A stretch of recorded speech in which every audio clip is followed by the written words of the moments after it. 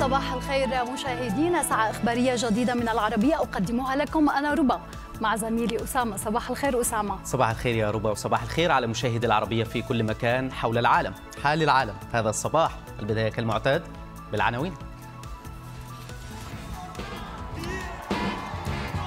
قبل أيام من المناظرة المرتقبة فريق ترامب ينصحه بتجنب كل أشكال الهجوم الشخصي على هاريس والأخيرة تستعين بهيلاري كلينتون وأوباما في التدريبات. الإدارة الأمريكية تؤكد استمرار الدفع باتجاه الصفقة في غزة وعائلات المحتجزين الأمريكيين تضغط على بايدن لعقد صفقة أحادية مع حماس.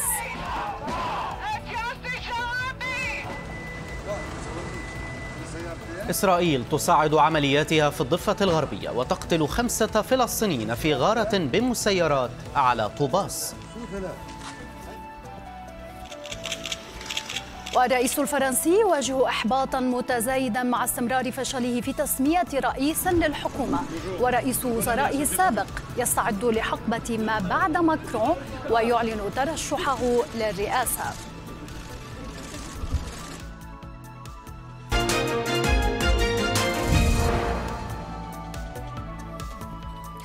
أهلا بكم. البداية من الانتخابات الأمريكية التي تترقب اسبوعا حاسما يشهد أول مواجهة مباشرة بين رئيس الجمهورية السابق دونالد ترامب ونائبة الرئيس الحالية الديمقراطية كاميلا هاريس في المناظرة المرتقبة. طبعا صعود كاميلا هاريس إلى قمة التذكرة الديمقراطية أدى إلى إعادة إحياء الحملة التي كانت طبعا تواجه شكوك كبيرة بشأن فرص بايدن في الفوز على ترامب.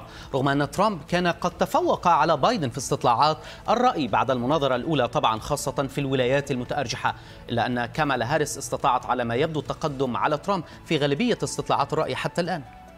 أما عن استطلاعات ما بعد المناظرة فقد تنقلب من جديد إلى كفة ترامب أو تؤكد تفوق هاريس ربما وفقا لأداء كل منهما. من يعلم؟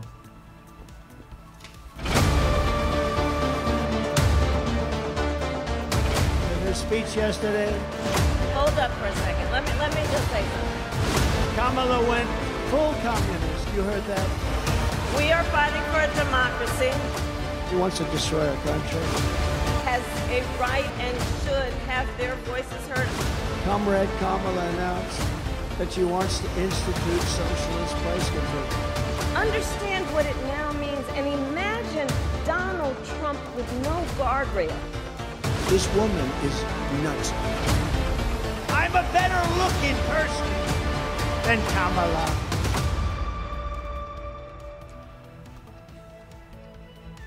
في جديد الأخبار كذلك عن الانتخابات الأمريكية. مصدر أمريكي مطلع قال إن حملة المرشحة الديمقراطية كاميلا هاريس قبلت بقواعد المناظرة المقررة الأسبوع المقبل ضد الجمهوري دونالد ترامب. حتى بما في ذلك غلق الميكروفونات عندما لا يكون دور المرشح للحديث. هو الأمر طبعا الذي أثار الكثير من الجدل خلال الأيام الماضية. هذه أزمة بالنسبة لهارس أيضا صحيح. كما نتابع حيث المصدر قال أيضا أن حملة هارس لا تزال تأمل في تحديد فترات قد تخصصها قناة اي بي سي نيوز والتي تستضيف المناظرة لإلغاء كتم صوت الميكروفونات والسماح للمترشحين بالرد. طبعا أيضا قد قد تكون المواجهة المباشرة الأولى والأخيرة بينهما. فكيف يستعد المرشحان دونالد ترامب وكاميلا هاريس للمناظرة التي قد ترجح كفة مرشح على آخر كما حدث بين ترامب وبايدن قبل أسابيع فقط؟ طبعا كالعادة فريق دونالد ترامب قلق من تماديه في سلوكه العدواني خاصة إذا تهور الرجل وعلق على كونها كاميلا هاريس امرأة وليست رجلا أو حتى التعليق على أصولها العرقية أو حياتها الشخصية. أما فريق كاميلا هاريس يتوقع كذلك هجمات من ترامب وما المعروف طبعا ببعض العدائية في هذه الكلمات يطالبونه أو يطالبون كاميلا هاريس بعدم الانجراف. لأن لا أحد يتفوق على ترامب في لعبة الإهانات السياسية أو الشخصية. كما أن المناظرة ستكون السابعة لدونالد ترامب في إجمالي المناظرات التي أجراها في تاريخه السياسي.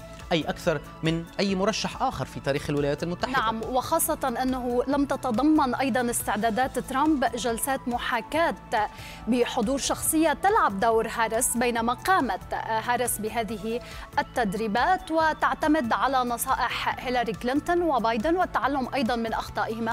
ولكن باراك أوباما قد يكون الشخص الأمثل لنصح هارس كونه الديمقراطي الوحيد الذي يمتلك آه، سرعة بديهة للرد بشكل منطقي وهادئ أيضاً.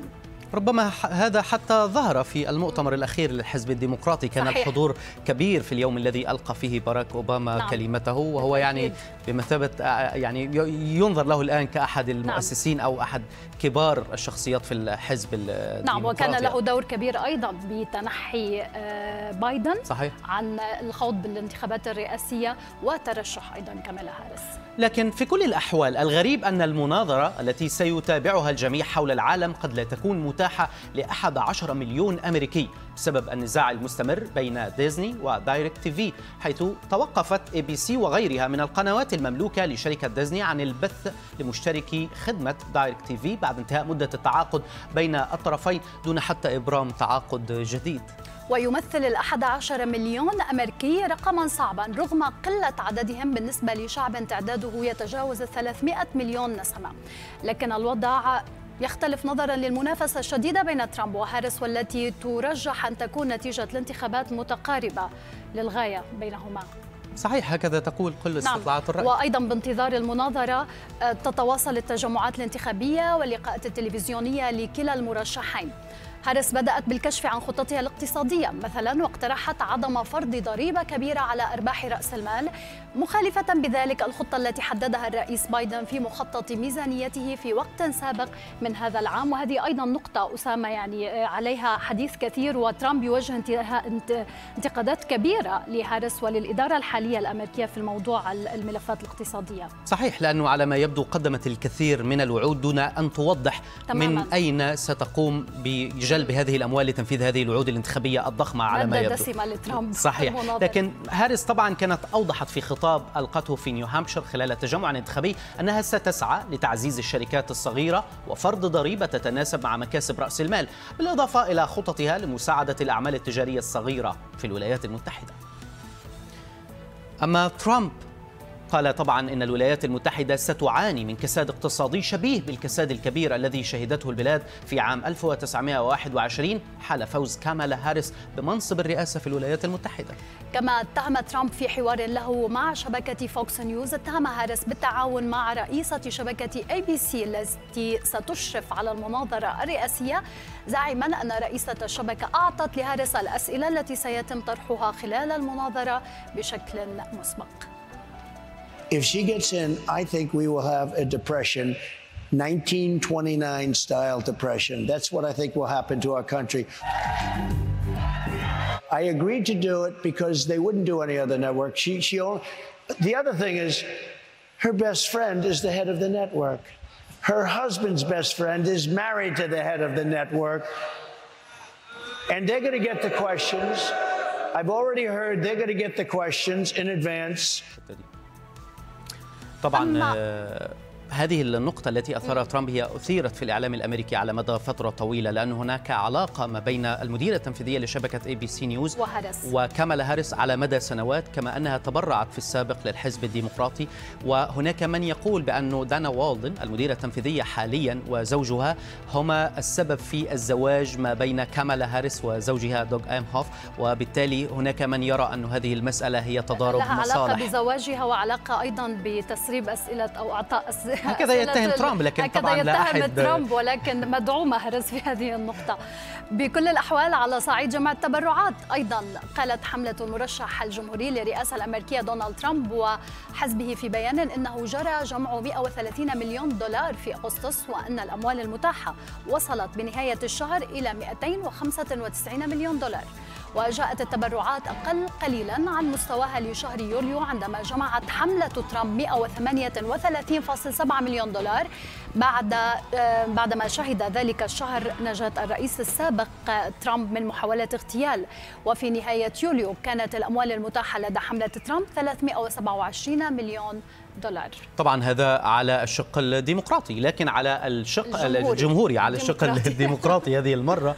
حملة كامالا هاريس أكدت أن الأموال التي جمعتها خلال شهر يوليو تخطت الأموال التي تمكنت حملة ترامب من جمعها وقالت كذلك أنها جمعت مبلغا إجماليا يقدر ب 310 ملايين دولار فيما لم تعلن الحملة الأرقام الرسمية التي جمعتها حملة الديمقراطيين في أغسطس الماضي. أو الجاري؟ اغسطس الماضي. نبي اغسطس آه صحيح.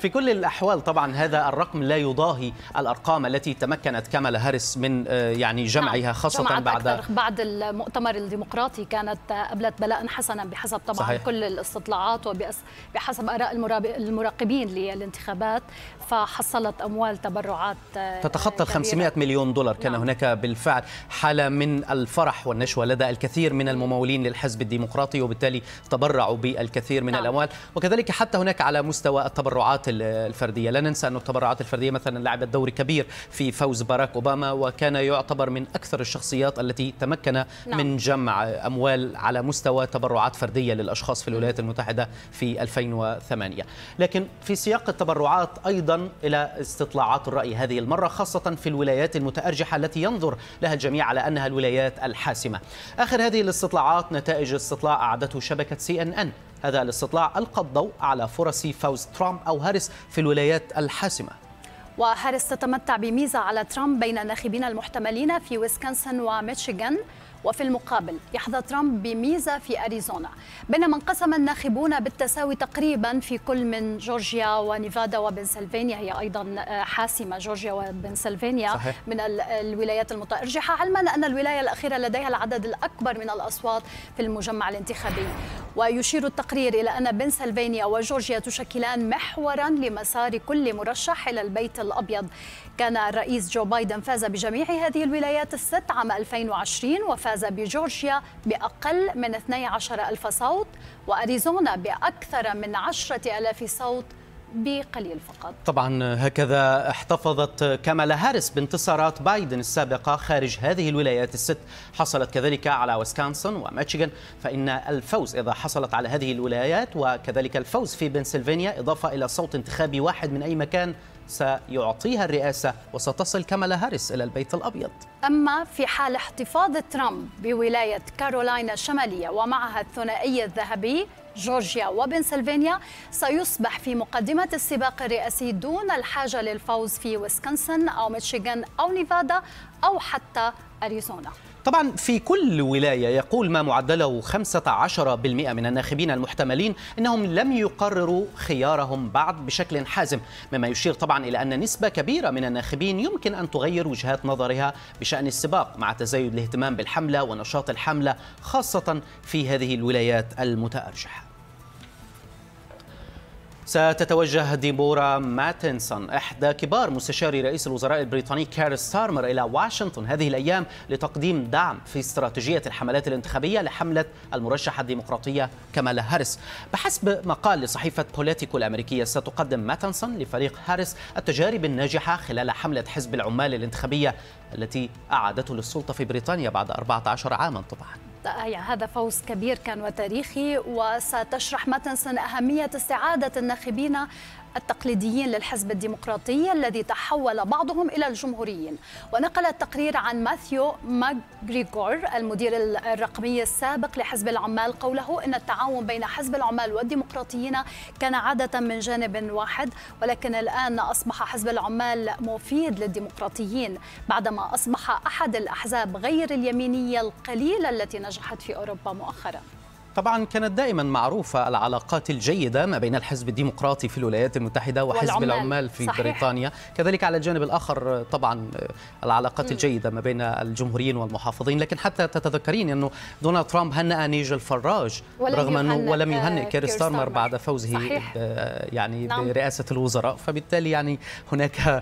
ليست فقط خلافات سياسية ولكن ربما هناك كذلك شخصية. خلافات شخصية مع ترامب دائما ترامب صحيح أعلنت الولايات المتحدة فرض عقوبات وملاحقات قضائية بحق مسؤولين روس متهمين في محاولة التأثير على الناخب الأمريكي. تأتي العقوبات ضمن إجراءات للدفاع عن المؤسسات والعملية الانتخابية الأمريكية وحمايتها من محاولات موسكو للتأثير عليها على ما أكدت وزارة الخزانة الأمريكية في بيان لها. طبعا العقوبات الجديدة شملت عشرة أشخاص وكيانين ينشطون في محاولات لتقويض العملية الانتخابية منذ مطلع العام الجاري. كما يستخدمون أدوات متنوعة ترتبط هذه المرة بالذكاء الاصطناعي والتزييف العميق وأيضا المجموعة من معلومات المضللة. ناهيك عن المحاولات لتجنيد مؤثرين أمريكيين دون علمهم. قاضي اتحادي في أتلانتا أصدر أمرا قضائيا مؤقتا يأمر الرئيس الأمريكي السابق دونالد ترامب وحملته الانتخابية بالتوقف عن استخدام أغنية شارك في كتاباتها الموسيقية في كتابتها الموسيقية الراحل إيزاك هايز في مناسبتهم. تم تشغيل أغنية Hold On I'm Coming التي أنتجت في عام 66 في مسيرات ترامب. لم يأمر القاضي بحذف مقاطع الفيديو هذه بحسب بيان لممثل ترامب. وقال أيضا إيزاك هايز الثالث نجل هايز في منشور على وسائل التواصل الاجتماعي الشهر الماضي إنه يطالب ترامب وحملته برسوم ترخيص بقيمة ثلاثة ملايين دولار بسبب الاستخدام غير المصرح به لأغنية Hold On I'm Coming. وذكرت وثائق المحكمة أن ترامب وشركائه قاموا بتشغيل الأغنية أكثر من 150 مرة دون إذن. أما المرشحة الديمقراطية كامالا هاريس تعرضت لموجة انتقادات واسعة على مواقع التواصل الاجتماعي بسبب تغييرها المتكرر في اللهجة خلال تجمعين انتخابيين في ولايتي ميشيغان وبنسلفانيا. طبعا كالمعتاد حملة ترامب ومستشاروه استغلوا كما هي العادة هذه الانتقادات وقالوا أن كامالا هاريس غيرت من لهجتها سبع مرات في أربعة أسابيع فقط. تخيل أن تجد نفسك في ديترويت حيث تتحدث المرشحة الديمقراطية كامالا هاريس بلهجة محلية مميزة.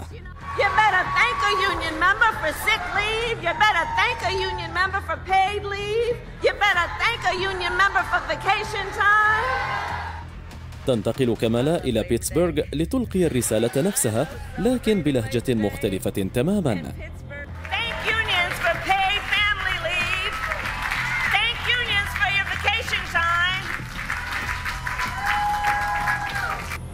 بينما تتجول هاريس عبر المدن الأمريكية تبدو وكأنها شخصية مختلفة في كل مرة.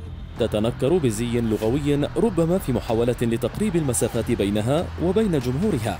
لكن جمهوريين بقيادة دونالد ترامب وجدوا في تباين لهجات هاريس مادة دسمة للحديث ولم يفوتوا الفرصة لتصويره كدليل على التظاهر وعدم الأصالة متهمينها بمحاولة تكييف نفسها بشكل مبالغ فيه لتلبية تطلعات مختلف الفئات. ترامب نفسه شارك على حسابه على منصة إكس مقاطع متقابلة لخطابات هاريس وطلب من المشاهدين محاولة التعرف على الفرق. هذه سابع لهجة جديدة لها خلال أربعة أسابيع. لم تستخدم هذه اللهجة من قبل أبدا. لقد نشأت في كندا. إنها أبعد ما تكون عن الصدق في السياسة. تبذل كمالا هاريس في الأسابيع الأخيرة قبيل الانتخابات الرئاسية جهودا مكثفة في محاولة لاستعادة أصوات كان قد خسرها الرئيس السابق جو بايدن خلال حملة إعادة ترشحه. فيما يعزز دونالد ترامب موقعه في السباق الانتخابي رغم استمرار الضغوط القانونية عليه. آخرها لائحة تهم جديدة في قضية التدخل في انتخابات 2020 وساعتنا الصباحية. مشاهدينا مستمرة معكم تتابعونا فيها بعد قليل. رغم الجدل والانتقادات الجيش الإسرائيلي يواصل تعبيد محور فيلادلفيا الحدودي بالإسفلت.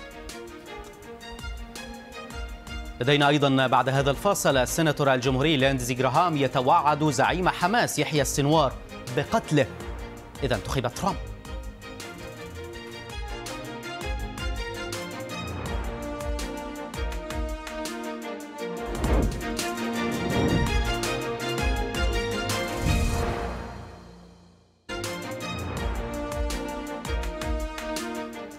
أهلا بكم من جديد. نذهب هذه المرة إلى تطورات الصفقة في غزة على الرغم طبعا من كافة المؤشرات السلبية على مدار الفترة الماضية. الولايات المتحدة لا زالت تتمسك بالاستمرار في الدفع بمفاوضات لوقف إطلاق النار في غزة وتبادل المحتجزين كذلك. أيضا مسؤول رفيع في الإدارة الأمريكية صرح أن الخطة الأمريكية الجديدة لوقف إطلاق النار في قطاع غزة تمت الموافقة عليها فعليا بنسبة 90% تتكون من 18 فقرة. تم الانتهاء من 14 فقرة منها. طبعا المسؤول الأمريكي كشف عن أن الفقرات متطابقة مع المقترحات السابقة للصفقة كما أوضح أن هناك تعديلا فنيا بحتا في فقرة واحدة وثلاث تعديلات أخرى تتعلق بتبادل الأسرى التي لا تزال بحاجة إلى مناقشة طبقا للمسؤول الأمريكي. نعم صحيح ولكنه أكد أيضا في الوقت نفسه أن هذه الاتفاقات لا تذكر محور فيلادلفي بل الاتفاق يفترض مسبقا انسحاب القوات الإسرائيلية من جميع المناطق المأهولة هذه النقطة دائما عليها خلاف موضوع محور فيلادلفي وتبقى غامضة حتى صحيح. في موضوع الاتفاقات لكن في المقابل حماس كان لها تصريحات أخرى جديدة. تحدثت في بيان أن قرار بنيامين نتنياهو بعدم الانسحاب من محور فيلادلفي يهدف لإفشال التوصل لاتفاق. حماس أكدت كذلك في بيان أخير أنها ليست بحاجة إلى مقترحات جديدة وأن المطلوب الآن هو الضغط على نتنياهو وحكومته وإلزامهم بما تم الاتفاق عليه. في الوقت ذاته واصل الجيش الإسرائيلي تعبيد محور صلاح الدين فيلادلفي الحدودي بالأسفلت والممتد على 14 كيلومترا فيما كشفت القناة الثالثة عشر الإسرائيلية بأن الجيش الإسرائيلي لم يجد أنفاقا في رفح تعبر إلى سيناء. وجدد رئيس الوزراء الإسرائيلي تمسكه بالبقاء في محور فيلادلفي ولكن أبدى قبولا بالانسحاب منه في المرحلة الثانية من الصفقة في حال وجدت جهة تمنع تهريب الأسلحة. كما قال نتنياهو. علينا أن نتأكد من أن محور فيلادلفي لن يستخدم ثانية لتهريب الأسلحة. لا يجب أن يبقى خاليا. لا بد من وجود جهة أو قوة تظهر لنا ليس بالورق أو الكلام فقط. ولكن على الأرض بأنها قادرة على منع حدوث ما جرى سابقا. ولكن أستبعد حدوث هذا الأمر. إلى حين تحققه لن ننسحب من محور فيلادلفي. طبعا على ذكر الأنفاق في رفح المتوجهة نحو سيناء المصرية كانت مرارا وتكرارا الجانب المصري أكد بأنه قام بردم وهدم نعم. هذه الأنفاق جميعا منذ أكثر من يعني منذ عام 2016 و2000 صحيح. لكن هناك تطور جديد أيضا يتعلق بالصفقة. شبكة إن بي سي نيوز الأمريكية نقلت عن مسؤولين أمريكيين القول إن عائلات المحتجزين الأمريكيين تضغط على البيت الأبيض للنظر بجدية في إبرام صفقة أحادية الجانب مع حماس بهدف تأمين إطلاق سراح المحتجزين الأمريكيين حيث يجرى حاليا مناقشة الخيار داخل إدارة بايدن وفقا للمصادر. مصادر قالت كذلك نقلا عن مقربين من المفاوضات أن كل الخيارات تتم دراستها لكن يظل الاتفاق مع حماس الذي يشمل إسرائيل هو الخيار الأفضل. في هذه النقطة تحديدا شبكة إن بي سي نيوز كان هناك أحد المسؤولين الذي تحدث وقال هو طبعا هناك الآن بعد مقتل نعم. شخص يحمل الجنسية الأمريكية هناك خمسة من المحتجزين لدى حماس الولايات المتحدة تعتقد بأنهم ما زالوا على قيد الحياة لكن أحد المسؤولين المطلعين على المفاوضات قال بأنه نتناقش وتواصلوا مع الجانب القطري في هذه المسألة على مدار أشهر لكن هناك أمر مهم. بشكل أحادي مع حماس ربما. صحيح لكن هو ذكر بأن الولايات المتحدة ليس لديها ما تقدم لحماس. الحماس حماس لديها مطالب من الجانب الإسرائيلي. أما الولايات المتحدة الأمريكية ليس لديها ما تقدم لحماس مقابل الإفراج عن الخمسة رهائن الموجودين من أصل أمريكي لدى حماس في القطاع. نعم. ومن جانبها أيضا أكدت المندوبة الأمريكية في مجلس الأمن ليندا توماس جرينفيلد أن الدبلوماسية هي السبيل الوحيد لإيقاف الحرب في غزة وإعادة جميع الرهائن إلى أسرهم مشيرة إلى أن مقترح الرئيس بايدن للهدنة يهدف لضمان أمن إسرائيل وعدم تكرار ما حدث في السابع من أكتوبر Colleagues, we cannot lose patience with diplomacy. لا يجب أن ينفد صبرنا أو نفقد الأمل في الدبلوماسية. فالدبلوماسية تتطلب جهدا ووقتا كبيرين. ومن خلالها تمكنا من استرجاع أكثر من 100 رهينة خلال شهر نوفمبر الماضي. ونريد أن نعيد الباقين إلى عائلاتهم.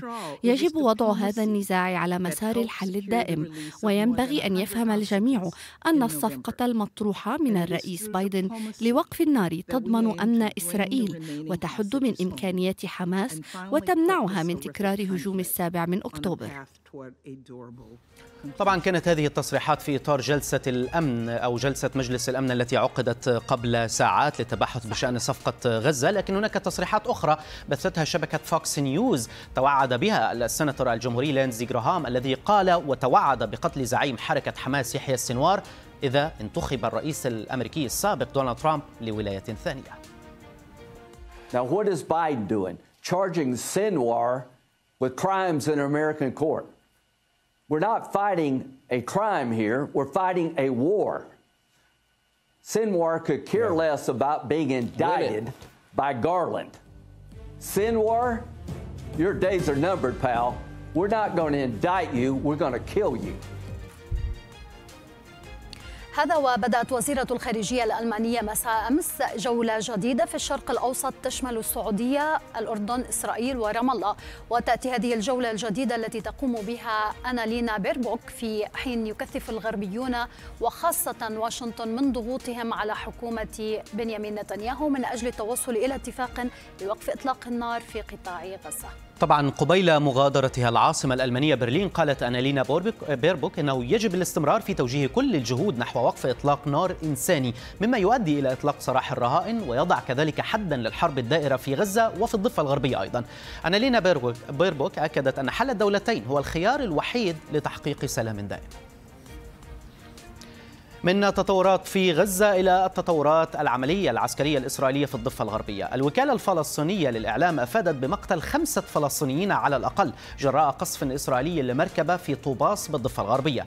هذا فيما كان الجيش الإسرائيلي قد أعلن أنه نفذ ثلاث هجمات بمسيرات ضد مسلحين في طوباس. قبل ذلك أكد وزير الدفاع الإسرائيلي يوآف جالانت أن قواته ستستأصل ما أسماها التنظيمات المسلحة في مختلف أنحاء الضفة الغربية وذلك من خلال العملية العسكرية الواسعة التي تنفذها منذ أسبوع وأسفرت عن مقتل وإصابة العشرات. مضيفا في حديثه أنه يجب القضاء على كل مسلح وأن استسلم يجب اعتقاله ولا خيار غير ذلك. منظمة الصحة العالمية كذلك أعلنت أن المرحلة الأولى من حملة التطعيم ضد شلل الأطفال في غزة اختتمت بنجاح. تمكن خلالها حوالي 200 ألف طفل في وسط القطاع من تلقي الجرعة الأولى للقاح ضد شلل الأطفال. وبهذا انتهت الحملة الواسعة الواسعة النطاق في وسط قطاع غزة ولكن منظمة الصحة العالمية أعلنت أن عملية التطعيم ستستمر في أربعة مرافق صحية خلال الأيام القليلة المقبلة لضمان عدم نسيان لأي طفل في المنطقة. حاليا بطعموا أطفالنا من شلل الأطفال يعني من فيروس بسيط. طب هم كل يوم بيقتلوا فيهم. هم فيش أساسا حماية لهم يعني. عدوا خلص خلال ساعات بسيطة هيخلص هتخلص الهدنة. هترجع قصف الأطفال واكل الأطفال. ما فيش أي حماية غير هيك يعني. إيش الحماية اللي هم بيقدمينها لنا بالضبط خلال هالست ساعات؟ أتمنى وقف إطلاق نار دائم يعني. يعني إحنا تنفسنا أخذنا صعوبات في أكثر من ساعة عشان أطفالنا يعني. فما بالك يعني لما يصير وقف اطلاق دائم الأطفال عمال بتموت كل يوم يوم يوم بتموت. جايين لنا لقيتها يعطونا تطعيم شلل الأطفال خايفين عليهم يموتوا مثلا يعني. طب ما أنتوا فيهم كل يوم. وساعتنا الصباحية من أخبار الصباح مستمرة معكم وتتابعون فيها بعد قليل. أزمات إيلون ماسك تتسلل إلى سبيس إكس. الشركة تجلي موظفيها من البرازيل وتنصحهم بعدم السفر إليها. بأوامر من مادورو ولتخفيف الضغوط على الشعب فنزويلا تحتفل بأعياد الكريسماس بعد أيام.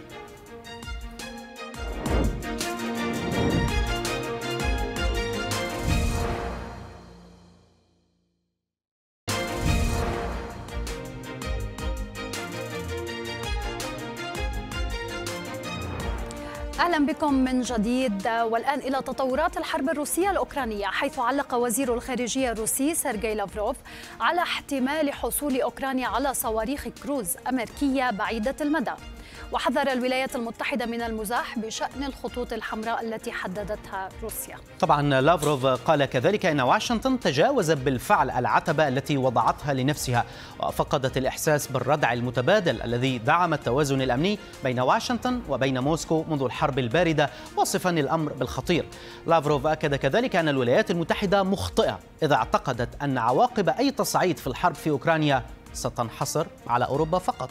نعم ربما نحن هذه المرة تهديد أمام تهديد, تهديد مباشر مبطن إلى الولايات المتحدة ليس إلى إلى يعني إلى الولايات المتحدة صحيح. بشكل مباشر هذه صحيح. المرة لكن دائما ما عرف لافروف بهذه الجمل الجريئة نعم. والواضحة بوتين.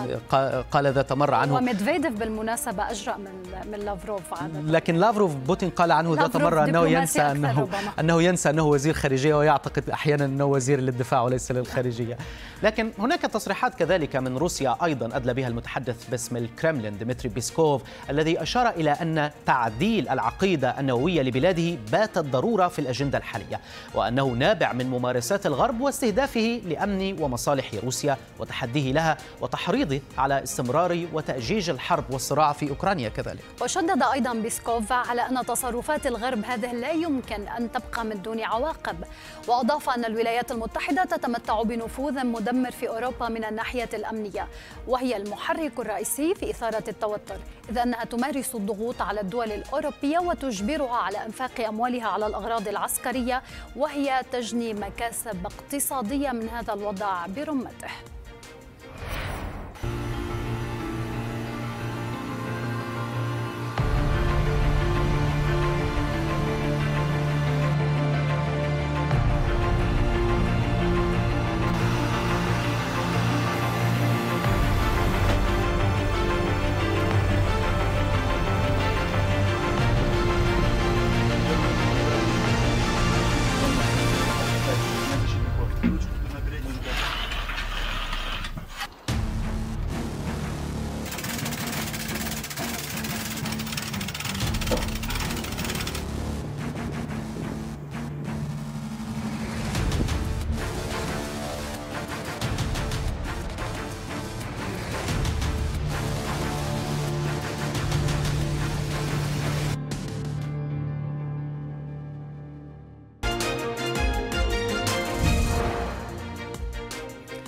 وإلى تطورات الأزمة السياسية في فرنسا.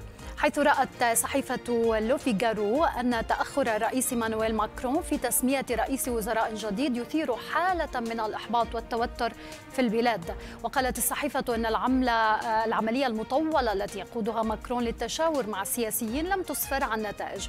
وسط اتهامات للرئيس بتسريب أسماء محتملة لقياس ردود الفعل. طبعا هناك انتقادات كثيرة توجه من توجه إلى الرئيس الفرنسي مانويل ماكرون بأنه قد اتخذ قراره بالفعل. بالفعل أنه يستخدم عملية التشاور المطولة لإبقاء أحزاب المعارضة في حالة من عدم الاستقرار. هذا طبعا فيما أدى الانقسام السياسي الحاد إلى ظهور مشهد غير مسبوق في فرنسا حيث تواصل حكومة رئيس الوزراء تصريف الأعمال منذ 48 يوماً. بالمناسبة كذلك هناك بعض الأخبار في فرنسا تتحدث عن أن هناك مجموعة من النواب في كتلة اليسار التي حققت الفوز في الانتخابات الأخيرة داخل البرلمان. هي تحاول يعني الآن توقيع عريضة لسحب الثقة من الرئيس الفرنسي ايمانويل نعم. إيمانويل ماكرو. يبدو أنه يعني قراره بمسألة انتخابات برلمانية مبكرة سيأتي عليه الآن بشكل سلبي وهذا ربما في إشارة أيضا لتحضيرات رئيس وزرائه السابق. لتسلم منصب الرئاسة أو الترشح للرئاسة لأنه يعتقد أنه ربما ينسحب ماكرون. أو ربما أو يعني يحاول يعني حلحلة الأمور المعقدة بشكل كبير. الشارع. صحيح لكن طبعا في الوقت الذي يكافح فيه آه، ماكرون للسيطرة على الأزمات السياسية غير المسبوقة التي تهز البلاد تلقى الرئيس إيمانويل ماكرون ضربة قوية كما ذكرت يا ربا من رئيس وزرائه السابق إدوارد فيليب الذي أعلن عن ترشحه للانتخابات الرئاسية المقبلة بعد رهانه على تنحي الرئيس خلال أشهر فقط. ورغم إصرار ماكرون المتكرر على أنه سيبقى في منصبه حتى نهاية ولايته في 2027 إلا أن فيليب يصعد لاستقالة الرئيس الفرنسي ربما في وقت مبكر من عام 2025 وذلك وفقا لما ذكره عدد من أعضاء حزبه في تصريحات لمجلة بوليتيكو الأمريكية.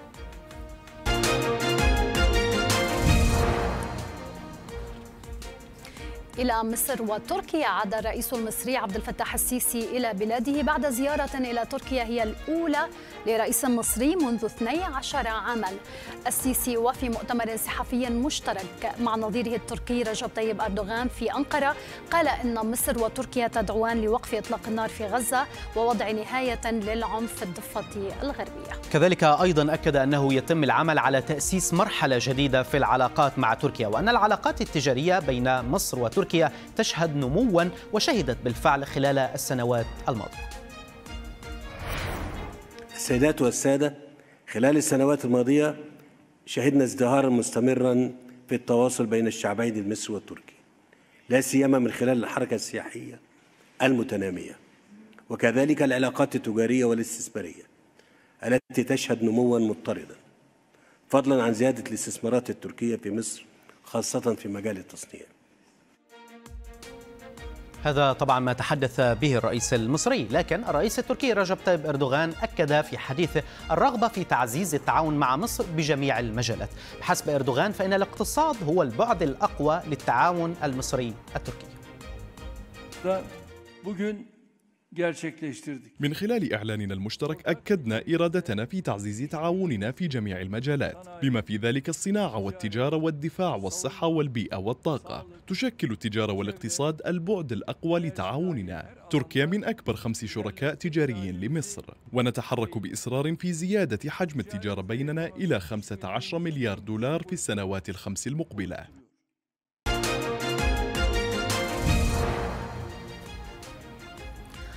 إلى تونس دعت أكثر من عشر منظمات وجمعيات مدنية وثمان أحزاب سياسية إلى تنفيذ سلسلة من التحركات الاحتجاجية بداية من الأسبوع المقبل تنديدا بما آلت إليه الأوضاع في مسار الانتخابات الرئاسية.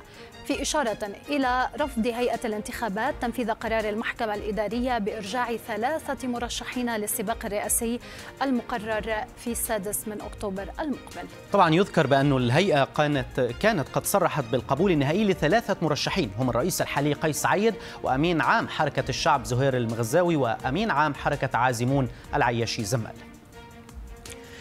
في تونس كذلك محامي المرشح الرئاسي التونسي العياشي زمال قال إن النيابة العامة في البلاد أمرت بإيداع موكله السجن على ذمة المحاكمة.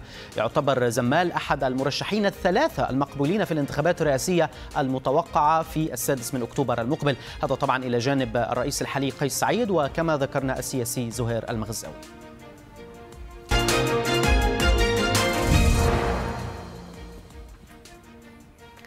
إلى كوريا الشمالية والفيضانات فيها التي تسببت بوصول 30 مسؤولا إلى حبل الإعدام.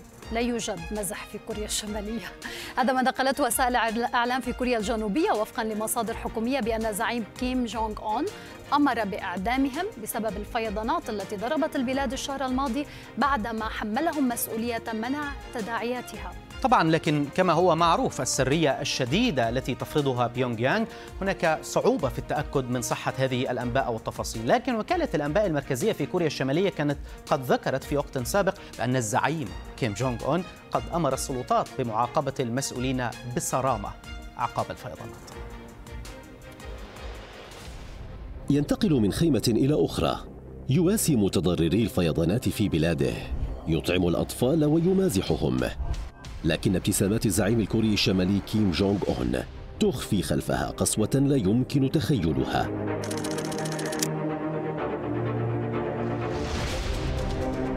فخلال جولته هذه أصدر بين 20 و30 حكم إعدام بحق مسؤولين فاشلوا في مقاومة الطبيعة ولم يستعدوا بشكل مناسب للفيضانات وفقا لما ذكرت وسائل إعلام في كوريا الجنوبية. أفاد مسؤول في نظام كيم أن ما بين 20 إلى 30 من القادة في كوريا الشمالية اتهموا بالفساد والتقصير في أداء الواجب وحكمت عليهم الدولة بعقوبة الإعدام في الوقت نفسه أواخر الشهر الماضي. وتسببت فيضانات نهر يالو والانهيارات الأرضية في عزل وتشريد آلاف الكوريين الشماليين من مناطقهم ووفاة أكثر من أربعة آلاف من السكان كما غمرت مياه الفيضانات أكثر من نحو أربعة آلاف مبنى وثلاثة آلاف هكتار من الأراضي الزراعية في كوريا الشمالية. الزعيم الكوري الشمالي رفض المساعدات الدولية وقال إن الأمر سيستغرق من شهرين إلى ثلاثة أشهر لإعادة بناء واستقرار المناطق المتضررة من الفيضانات. هويات المسؤولين الذين تم إعدامهم لم تكشف. لكن تقارير صحفية ذكرت أن كانج بونغ سكرتير لجنة الحزب الشيوعي الإقليمية في مقاطعة تشاغانغ كان من بين القادة الذين أقيلوا بعد الاجتماع الطارئ الذي عقده كيم جونغ أون لمناقشة تداعيات الكارثة. ولا تتوقف كوريا الشمالية وزعيمها كيم جونغ أون عن إثارة استغراب العالم. فالضحك خلال حضور اجتماع للزعيم أو مشاهدة قنوات أجنبية. تصرفات قد تعرضك للإعدام في كوريا الشمالية. وليست أسباب الإعدام وحدها هي ما تدعو للعجب. بل طريقة التنفيذ التي تصل في بعض الأحيان إلى القصف بصاروخ أو كرات لهب أو حتى التفجير. من إعدامات كوريا الشمالية إلى انتقادات طالبان في أفغانستان حيث تواجه الحركة انتقادات واسعة بعد أن قامت بإغلاق التلفزيون الرسمي في ولاية قندهار بسبب بث مقاطع لصور بشر وحيوانات اعتبرتها الحركة محرمة. ويأتي ذلك في ظل مخاوف من عودة الحركة إلى سياستها القديمة بعد أن أعادت قرارات الحركة إلى الأذهان. ما حدث قبل أكثر من عشرين عام وأيضا الأنظار موجهة الآن إلى التلفزيون الرسمي في كابول.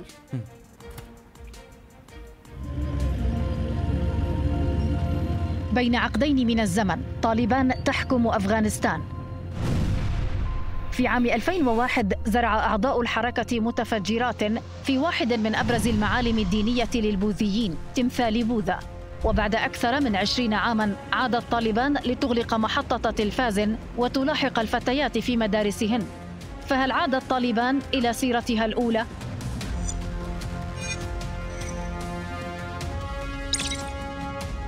قبل عقدين ثار العالم على طالبان وسياستها قبل أن ينتهي حكمها بتدخل أمريكي.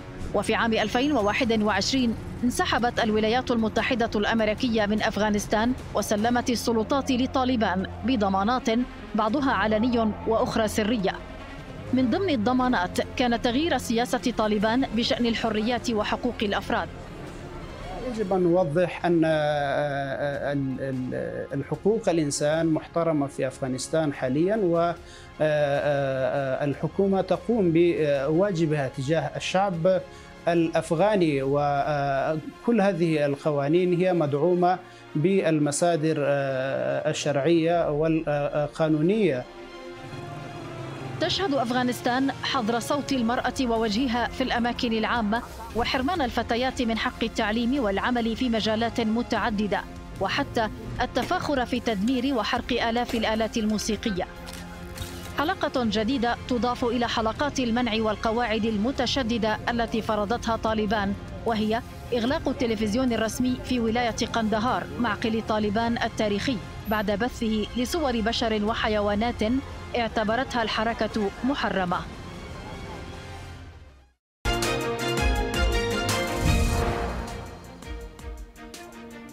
عشرة مليارات دولار خسرها مؤسس شركة انفيديا العملاقة خلال يوم واحد فقط. لتخفيض ثر أو لتنخفض بذلك ثروة مؤسس الشركة ورئيسها التنفيذي جانسينغ هوانغ نحو 10% الانخفاض هو الأكبر منذ أن بدأ مؤشر بلومبيرغ للمليارديرات في تتبع ثروته منذ عام 2016 أما سبب هذه الخسارة الهائلة هو هبوط حاد تعرض له سهم إنفيديا بنسبة 9.5% حيث فقدت الشركة ما يقارب من 280 مليار دولار من قيمتها السوقية في البورصات الأمريكية في جلسة تداول واحدة بعد استدعاء الشركة للمثول أمام المحكمة في تحقيق حول قضايا احتكار. 10 مليار دولار في يوم يعني رقم رقم كبير جدا نصاب بالعين يمكن ممكن بعد إحنا بعد في يوم تتبعي. يوم تحدثنا هنا عن إيلون ماسك ثاني يوم خسر بس إحنا ما تحدث عن ما تحدثناش نعم. عنه. لا دعنا لا نتحدث عنهم بعد تصاعد التوتر بين المحكمة العليا البرازيلية وإيلون ماسك بشأن منصته للتواصل الاجتماعي قامت شركة سبيس إكس بإجلاء موظفيها من البرازيل وحذرت آخرين من السفر إليها بحسب ما أفادت به صحيفة وول ستريت جورنال وقالت الصحيفة إن رئيسة سبيس إكس بعثت رسالة بالبريد الإلكتروني في أواخر الأسبوع الماضي للموظفين نصحتهم فيها بعدم السفر إلى البرازيل للعمل أو المتعة وأن شركة الشركة اتخذت الأسبوع الماضي خطوات لنقل مجموعتها الصغيرة من الموظفين غير البرازيليين من البلاد. حذرت وزارة أمن الدولة الصينية الطلاب القادرين على الوصول إلى المعلومات الحساسة من الوقوع في شباك رجال وسيمين أو نساء جميلات يمكن أن يغزوهم التجسس لصالح جهات أجنبية. بكين تتحدث عن سعي جواسيس أجانب لاستدراج الصينيين المخلصين لخيانة بلادهم بطرق غير مألوفة عبر منصة ويتشات منذ العام الماضي. وقالت أيضا أن الجواسيس الأجانب لديهم عدد لا يحصى من وسائل التنكر حتى أن بإمكانهم تغيير جنسهم واتهمت وكالات الاستخبارات الأجنبية الأربعاء بنشر مصائد رومانسية. لاستدراج الطلبة الصينيين. مصائد رومانسية. أعياد الميلاد تأتي مبكرا هذه المرة في فنزويلا هذا العام بعد قرار مفاجئ وغريب. من نوعه اتخذه الرئيس الفنزويلي نيكولاس مادورو أعلن فيه عن تقديم الاحتفالات بأعياد الميلاد قبل موعدها بنحو ثلاثة أشهر. نيكولاس مادورو أعلن نقل الاحتفال بالكريسماس ليصبح في الأول من أكتوبر المقبل بدلا من موعده الأصلي المقرر دوما في نهاية ديسمبر. على فكرة أوكرانيا فعلتها من قبل مادورو وهذه ليست المرة الأولى أيضا التي يغير فيها مادورو تاريخ الاحتفال. الاحتفال بعيد الميلاد منذ تولي الرئاسة عام آه، في عام سابق. فسبق أن قام مادورو بتغيير موعد الاحتفال خلال جائحة كوفيد 19 لكنه لم يحدد الموعد مبكرا مثل هذا آه، العام. ومشاهدينا الآن مع ختام الجزء الأول من أخبار الصباح لهذا اليوم. ننتقل إلى زميلة ريم وصباح العربية. صباح الخير ريم. صباح الخير ماذا لديكم اليوم؟ لدينا الكثير من الموضوعات بالتأكيد. لكن لفت نظري مادورو يعني ماذا يحصل في هذا العالم؟ يعني ما قلت السبب ليش؟ طب هو يبغى يقدم يبدو إنه عنده شوية مشاكل سياسية بيحاول يعني يقال بأنها تغطية لأزمات سياسية بعد فوزه بالانتخابات وتوتر الأجواء مع المعارضة يعني العطلة الطويلة جميلة أيضا يعني صراحة شيء غريب على قولهم نعيش ونشوف عموما خلونا نشوف سؤالنا التفاعلي لليوم يلا. طبعا نعلق اليوم على عبارة الفنان أحمد سعد اللي أثار الجدل عندما قال أحب الاغنياء لأنهم اذكياء وسؤالنا يقول هل يغير المال والشهرة الإنسان؟ يعني هل الفلوس بتغير النفوس؟ إيش رأيكم؟ أنا لا أنا أنا سوف أبقى متواضعة. هذا المفروض. لكن إيش رأيك يا أسامة؟ يعني آه، كثير ناس زعلوا من آه، من أحمد سعد إنه كيف تغير على أبناء جلدته وحارته وكيف لما صار من من الأثرياء. وأيضا وأيضا ريم وأسامة يعني ليس كل الأغنياء آه، أذكياء. شكرا. بالتأكيد. بالضبط. طبعا ستتغير؟ في ناس في ناس لم تجب سريعا لو ستتغير؟ بقيت لو بقيت غني ومعايا فلوس يعني ما أعتقدش خالص. ما إيه؟ شوف انت هتتغيري ولا لا يا ريم؟ لا إن شاء الله الله لا يغيرنا إلا للأحسن وما نتكبر على الناس طبعا. بالتأكيد. ألتقيكم بعد موجز, بعد موجز الأخبار. بالتأكيد إلى اللقاء.